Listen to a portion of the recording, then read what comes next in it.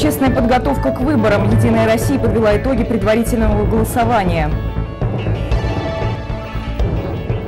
Чем и кому полезны родники? Специалисты берут пробы во всех городских источниках. Возвращение героя сороковых в Федоровском районе перезахоронили останки рядового, который числился пропавшим без вести 70 лет.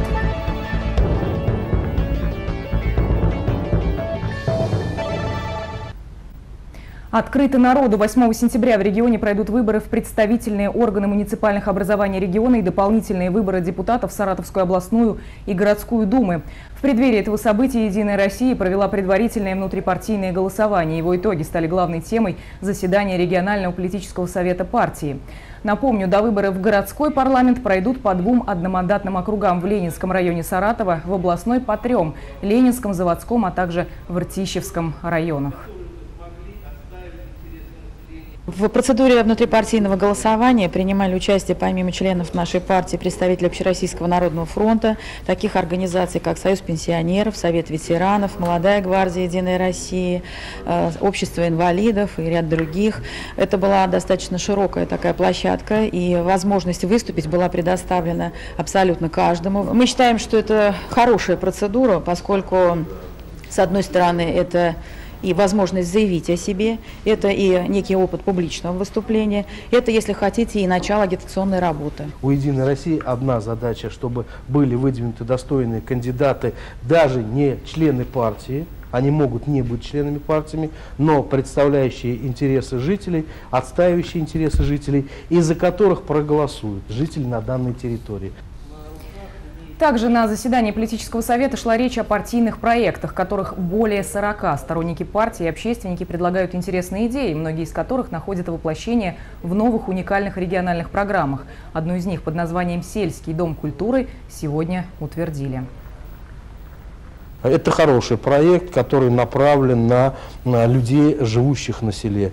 А треть жителей Российской Федерации проживает в сельской местности. И создание нормальных, комфортных условий, создание нормальной, хорошей среды – это одна из главных задач а, партии «Единая Россия», что мы на, на самом деле на, а, своими делами и подтверждаем.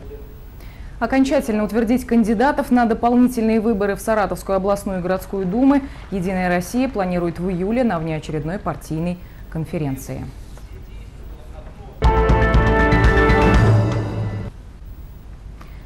Строительный скандал разгорелся между жильцами домов на улице Чернышевского и предпринимателями, которые возводят в этом районе новую многоэтажку с подземной парковкой. Местные жители бунтуют, потому что считают стройку незаконной и небезопасной. Они обратились с жалобами в редакцию нашей телекомпании. А застройщики в свою защиту приводят весомые аргументы.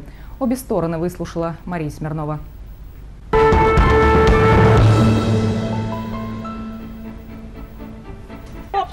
Джоник, иди сюда. И такая цензура – норма общения жителей рабочих с октября прошлого года. Тогда первые впервые попытались взять приступом неприступную стройку. Четыре этажа будет э, стоянка, пять этажей еще будет сверху. Это значит, нас закроют вообще. Страх, что новая стройка погрузит их дома в тень, меркнет перед другим. По словам жителей, стены пятиэтажных зданий покрываются трещинами. Вот в пятиэтажной трещины, вот в, этом, пяти, вот в этом, в этом доме трещины. Три года о насущных для своего возраста проблемах. О детской площадке, которая и так находилась в опасной близости к дороге, теперь остались качели. И последнее, что у нас тут вот песочница стояла вот здесь, вот, вот как они у нас отняли вот это вот отсек. Мы сами привозили, нанимали машин для, для того, чтобы наши хотя бы дети в этом в песке, в этом в земле поковырялись. Все как один жители твердят, их ввели в заблуждение. Обещали построить детскую площадку, а возводят жилой дом с подземной парковкой. Двое мужчин и женщина. Говорят, мы собираем э, подписи для того, что здесь будем строить площадку. И вот именно сказали. Я говорю, ну очень хорошо. Я говорю, домов много здесь. И э, я, конечно, подписалась. У него своя правда, подкрепленная документами с многочисленными подписями и печатями из Саратова и Москвы о безопасности стройки. Запроектировали буро-набивные сваи, которые армируются, которые обвязываются ростерком, обвязываются анкерами и позволяет копать котлован до 15 метров э, глубиной. Безопасный, по его словам, метод строительства позаимствовал у Будапешта. Там сейчас реконструируют Будайский дворец без страха за объект культурного наследия ЮНЕСКо. Нами были поставлены маяки. Вот, и в процессе строительства, пока мы ведемся, маяки эти все на сегодняшний день стоят. Мы ввели мониторинг сами э, в течение двух недель. После этого администрация заводского района взяла, э, в связи с жалобами жильцов, взяла этот мониторинг на себя. И напоследок показывает то, что было до его стройки. Мусор и те же злосчастные качели. И правда собирали подписи в поддержку строительства детской площадки. Но как бонус за неудобства, причиненные стройкой, жители оказались против. Из 300 подписали 170. Мария Смирнова, Олег Бирюков, ТВ-центр, Саратов.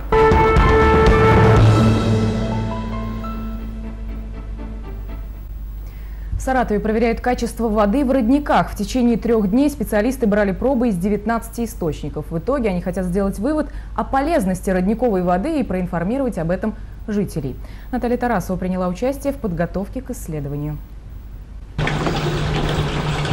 Этим маршрутом Алексей ходит уже больше 20 лет. В канистре почти недельный питьевой запас для всей семьи. Говорит, что вода из этого источника обладает особенными целительными свойствами. Например, его отцу помогла победить последствия инфаркта. Ему давали очень маленький прогноз. Он проживет 2-3 года, но самое больше 5 лет. Он прожил здесь 13,5 лет. Ее пьешь и не напьешься, она чистая, холодная. И никакого отстоя нет. Даже в чайнике накипи, вот сколько у нас чайника, уже 5 лет, и накипи никакой нет в чайнике. Насколько ощущения жителей соответствуют действительности, установят эксперты. Специальным образом берут пробы воды во всех родниках города. При этом учитывают и показания воздуха, его температуру, влажность и давление.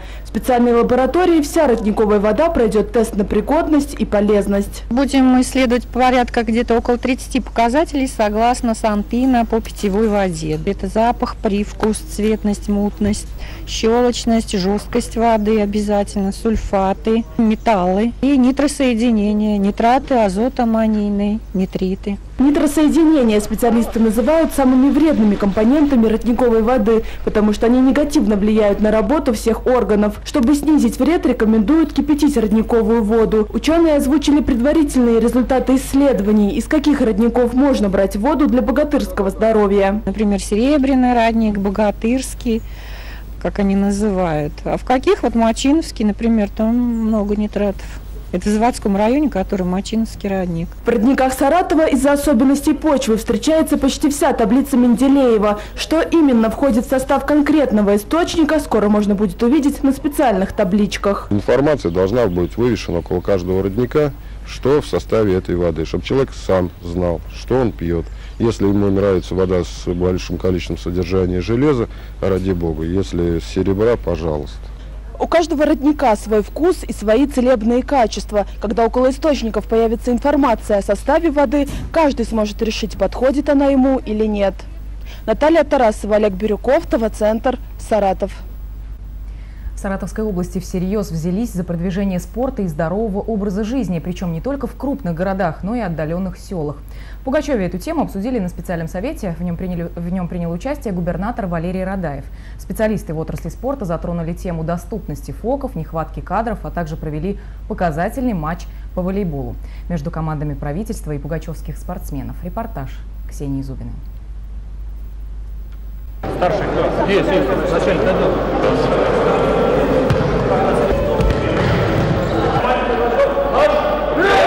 Сменили привычные классические костюмы на не менее привычные спортивные. Кабинет министров в очередной раз на собственном примере показывает, здоровый образ жизни сегодня в приоритете.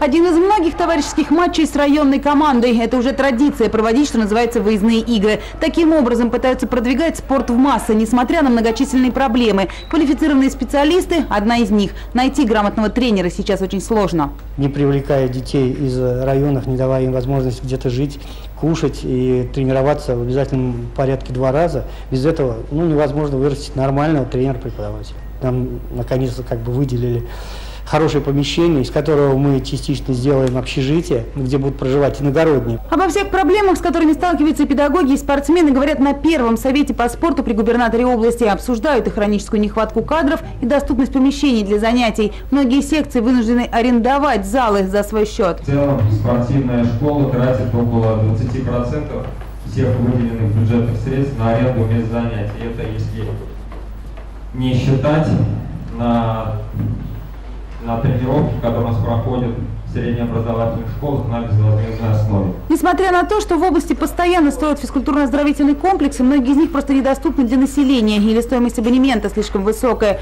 Эту проблему, как и кадровый потенциал, тоже нужно решать в кратчайшие сроки. Нам многое нужно с вами обсудить и проанализировать, а также вынести конкретные решения для реализации их на практике. Для того, чтобы решать проблемы, с которыми сталкиваются спортсмены, в составе Совета создадут специальные рабочие группы. В них войдут не только чиновники, но и те, кто участвует в соревнованиях. Для них главной задачей станет помощь в развитии спорта в регионе. Ксения Зубина, Антон Романов, ТВ-центр «Саратов».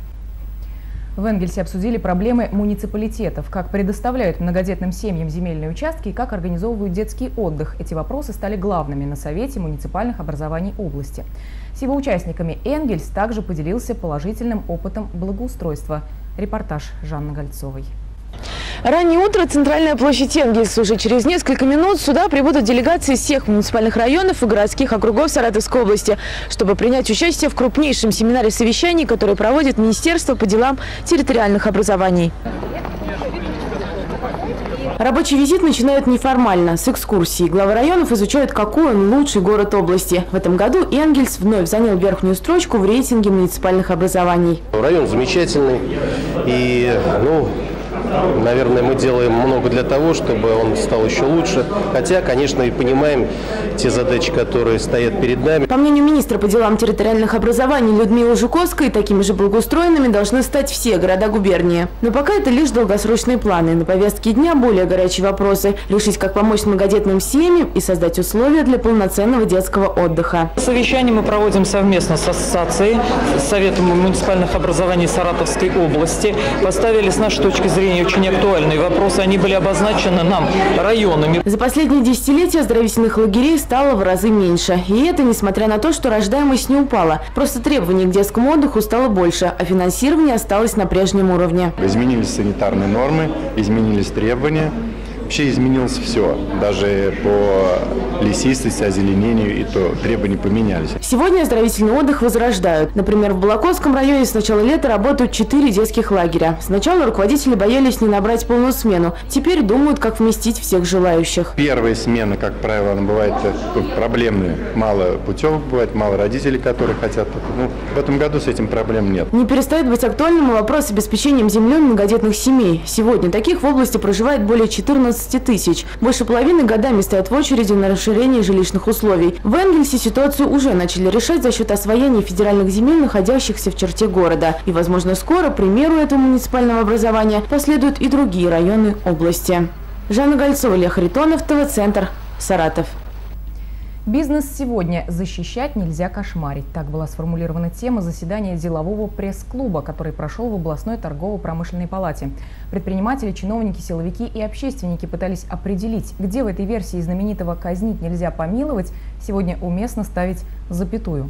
Наталья Сулюкина стала свидетелем разговора на острейшие темы, по которым развернулась дискуссия и прозвучало немало дельных предложений. Как и везде, недобросовестные чиновники и недобросовестные предприниматели в том числе. Не скрывает подводные камни деловой жизни президент торгово-промышленной палаты, но дополняет, это не влияет на взаимодействие власти и бизнеса. Яркий пример – открытая дискуссия с участием обеих сторон. Предприниматели и чиновники обсуждают актуальную тему. Бизнес сегодня. Защищать нельзя кошмарить. В настоящее время отношения между региональной властью и местным бизнесом смело можно охарактеризовать как партнерские. Однако куда правильно поставить запятую для себя определили пока только сами бизнесмены. Четко обозначает свою точку зрения в этом вопросе и эксперт в отрасли бизнеса Максим Фатеев. А, Все-таки наша позиция такая, что защитить запятая, нельзя кошмарить. И это наш э, призыв, не просьба, а призыв к власти. Ставит интонацию на слове «защищать». На это хочет обратить внимание не только власти, но и общественности. Каждый должен понимать, что те деньги, которые получают пенсионеры, которые выплачиваются нашим детям, матерям и так далее, и так далее, это деньги, которые сначала были заработаны предпринимателями. Не отрицают того, что саратовский бизнес играет важную роль в развитии экономики региона, и областные чиновники идут навстречу местным предпринимателям. Правительство Саратовской области, как власть, мы очень заинтересованы, чтобы малый бизнес на территории Саратовской области развивался. 275 миллионов только из федерального бюджета придет средств на поддержку малого и среднего бизнеса. Такого не было никогда. Но все же полностью принять позицию защитника саратовского бизнес-сообщества власть пока не готова. Бизнес должен сам развиваться, он должен сам себя продвигать, он должен сам себя тоже защищать. Запятую надо поставить и туда, и туда. То есть и защищать чрезмерно нельзя, но нужно поддерживать. И кошмарить, безусловно, нельзя. Нейтральная позиция власти не смущает бизнесменов, а некоторые даже меняют формулировку вопроса. Вместо слова «защита» ставят другое, по их мнению, более подходящее. Вот поддержать, да. Предприниматель это по определению сильный человек. Если человек решил заниматься бизнесом и стать предпринимателем, он берет на себя уже ответственность, он понимает, это трудно. Сходится в одном. Для того, чтобы саратовское предпринимательство развивалось и по-прежнему было конкурентоспособным, прямое взаимодействие обеих сторон просто необходимо. Наталья Сулюкина, Илья Харитонов, Антон Романов, ТВ-центр, Саратов. Долгий путь до дома. Останки героя, который в сороковые защищал родину, торжественно перезахоронили в селе Семеновка в Федоровском районе. Рядовой красноармеец Николай Хадак погиб в боях на Ржевском выступе в августе 1942 года. Останки были найдены и подняты 2 мая поисковиками московского отряда «Победа». Более 70 лет он числился пропавшим без вести. О возвращении героя Мария Смирнова. Я ехала по дороге и остановилась, и я думала, такое известие. Аварийку включила и стоял. Когда домой приехала, муж говорит, ты чего? Я говорю, ты не представляешь, какую я новость привезла. Новость, которую ждали 70 лет. Именно столько в земле под Ржевом пролежало тело родного дяди, которого, правда, никогда не видела. Нашли прям на чистый четверг, а мне сообщили в субботу. Я, конечно, сразу поехала на кладбище к папе и сказала ему, что нашелся твой братик. Потом шла к бабушке, к могиле. Самая близкая к роду Хадак из всех родственников. Именно ей передали вещи покойного, рядового, который воевал на фронтах Великой Отечественной до смерти. Менее полугода. Найдена записка в медальоне. В ней написано «Хадак Николай Максимович, военное звание красноармеец. Прах она решила захоронить в родном селе дяди Семеновка Федоровского района. Туда силами областных чиновников направляет останки, могильную плиту и крест. В прошлом году мы в рамках вахты памяти провели перезахоронение найденных э, поисковиками останков трех саратовских воинов в Аткарском э, районе, в Энгельсе и в Саратове.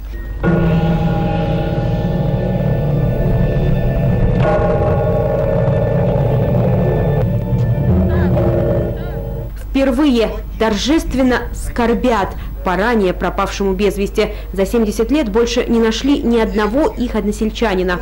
Это когда вы сделали? В каком году? Когда был дурак. Петр Головешко – старейший житель небольшого села. Ему было 14, когда из этого дома на фронт забрали Николая Ходак. Хуры ездили прямо так вот, полно сидят. Ну тогда, наверное, не фуры были, а эти вот грузовики какие-то. Какие эти грузовики? А На лошадях.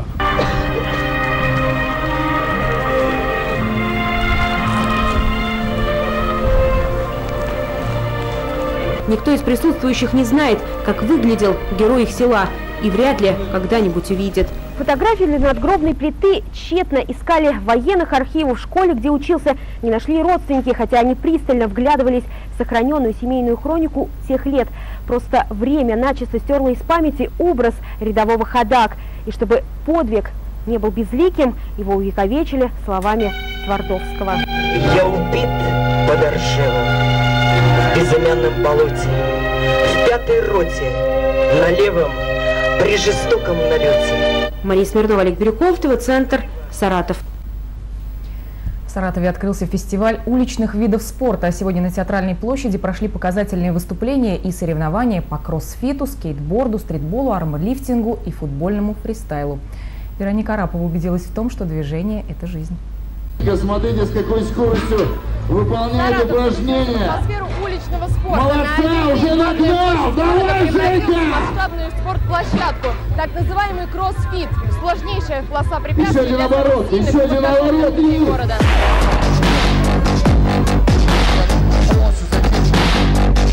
Мероприятие, которое мы сегодня проводим, оно проходит впервые э, в городе Саратове. Ребята выполняют 10 упражнений подряд без отдыха. Это уже э, очень серьезное утяжеление.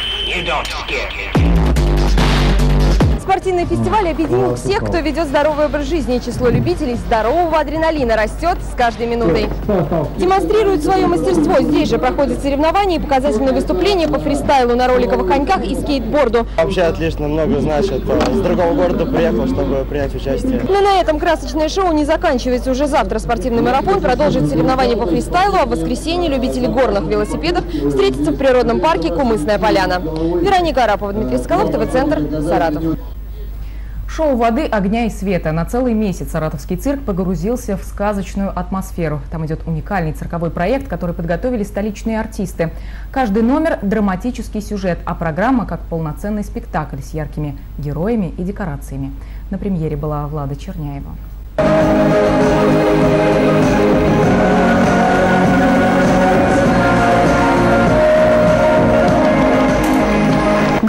Головокружительные пируэты под куполом цирка в исполнении признанной гимнастки. И это лишь начало новой программы, билеты на которую раскупили задолго до премьеры.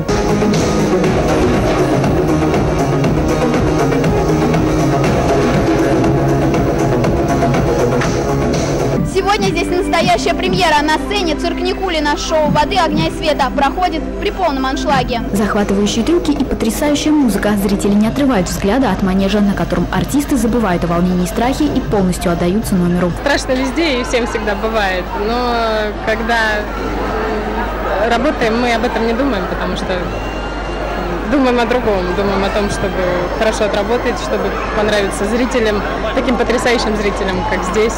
Очень хорошие, очень доброжелательные люди. Нельзя научить, но можно научиться. Иллюзии поражают воображение неискушенных зрителей.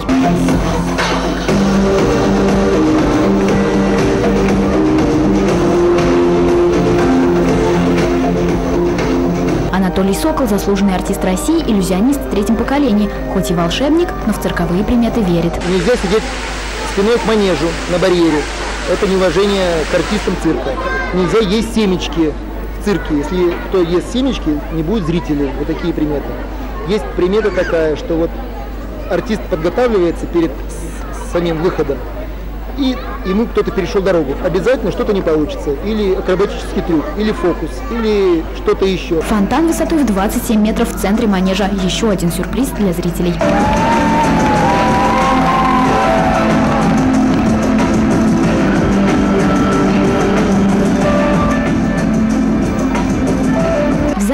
Одного свободного места. Восхитительная игра, света и воды, смешные клоуны-толстяки, гимнасты и жонглеры покоряют публику, а громкие овации – наивысшая оценка феерическому шоу. Влада Черняева, Шейн Абдулаев, ТВ-центр, Саратов. И пятничные итоги опроса. Недавно в Госдуме рассмотрели поправки в законодательство, касающиеся детей-сирот. Мы решили узнать у жителей города, как они относятся к усыновлению иностранцами российских детей.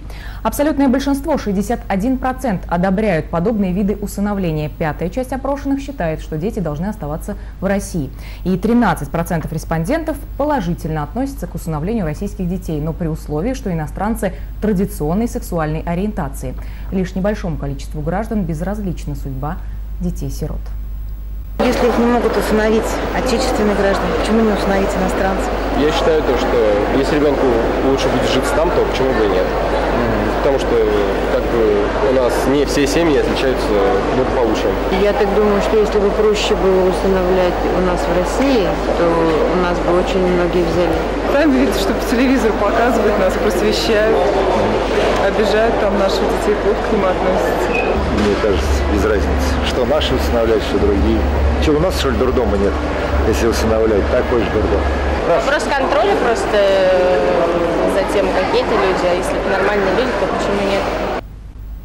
В следующую пятницу мы подведем итоги опроса на тему пляжного отдыха в Саратове. Довольны ли жители города обустройством местных пляжей? Всех, кто желает высказаться по этому поводу, съемочная группа телекомпании ТВ-центр «Саратов» ждет на проспекте Кирова напротив консерватории в четверг, 27 июня в 17 часов. Это были все новости к этому часу. Более подробную информацию ищите на интернет-канале forpost.tv. Там вы можете оставлять свои комментарии и пожелания. Оставайтесь на канале ТВ-центр. Имидж ведущих создан студией красоты «Дива». Спонсор программы – компания «Альянс Авто».